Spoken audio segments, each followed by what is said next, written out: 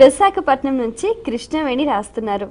వివాహం చేయాల్సిన వధూవరులిద్దరూ జ్యేష్ఠ సంతానమి అయితే ఏమైనా దోషమా?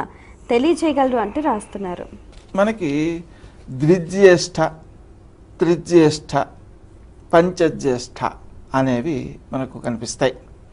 పంచజ్యేష్ఠ అంటే ఇద్దరూ పెద్దవాళ్ళు ఇద్దరిది జ్యేష్ఠ నక్షత్రమే. నాలుగైపోయాయి. జ్యేష్ఠ మాసంలో పెళ్ళి చేసాం ఐదు ఐదు పనికిరావు. మూడు కూడా పనికిరావు. అంటే ఒకరు జ్యేష్ఠ నక్షత్రం గలవారు ఒకరు జ్యేష్ఠులు ఒకరు అదే వీళ్ళిద్దరికి జ్యేష్ఠ మాసంలో పెళ్ళి చేసాం అది త్రిజ్యేష్ఠ అవుతుంది. అది పనికిరాదు. ఇక జ్యేష్ఠ నక్షత్ర జాతులు ఇద్దరు. అన్నప్పుడు కూడా అంత ఉత్తమమైనటువంటి పని కాదు. ఇక జ్యేష్ఠులు ఇద్దరు అని అన్నప్పుడు విశేషమైనటువంటి దోషమేం లేదు. కానీ ద్విజ్యేష్ఠ కూడా మధ్యమము అని చెప్పారు. అంతే తప్ప నిషిద్ధమని చెప్పలేదు.